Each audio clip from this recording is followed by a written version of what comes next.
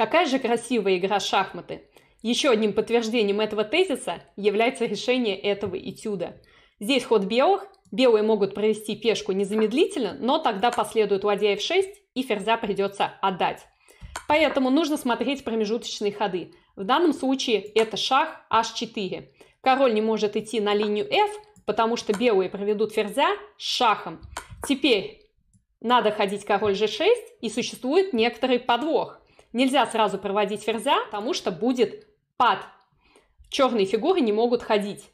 Поэтому надо провести слона. Теперь возникает позиция Цукцванга.